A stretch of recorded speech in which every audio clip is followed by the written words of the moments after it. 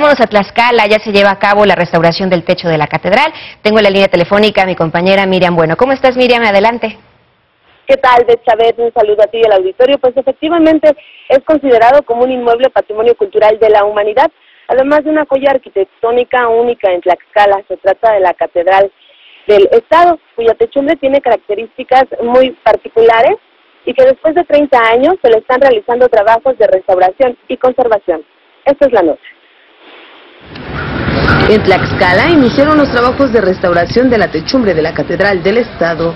Personal del Instituto Nacional de Antropología e Historia y del Ayuntamiento de la capital supervisa los trabajos de manera minuciosa.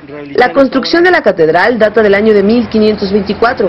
Es parte del conjunto conventual de un estilo mudéjar o artesonado construido con vigas de madera a presión que dan la apariencia de un barco invertido. Es considerado como una joya arquitectónica única en la entidad.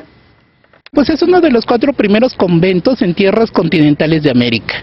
Se considera construido entre 1524 y 1540. La actual techumbre es del siglo XVII. Es estilo mudéjar. Es un estilo que se le llama así a todo estilo árabe fuera de territorio árabe. Para estos trabajos, el ayuntamiento de la capital gestionó un recurso de más de 5 millones de pesos a través de Conaculta.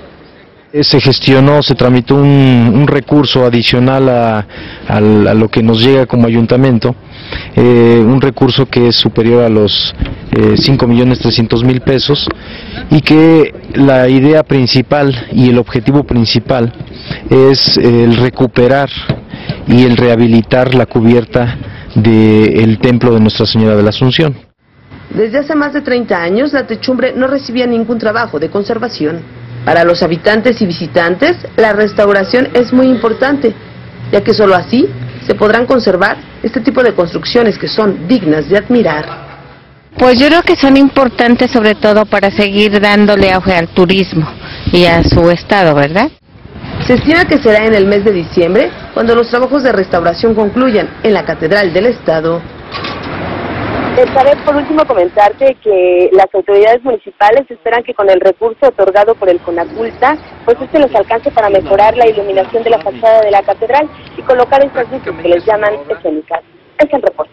Gracias Miriam, cuídate, buenas tardes, noches. Buenas tardes.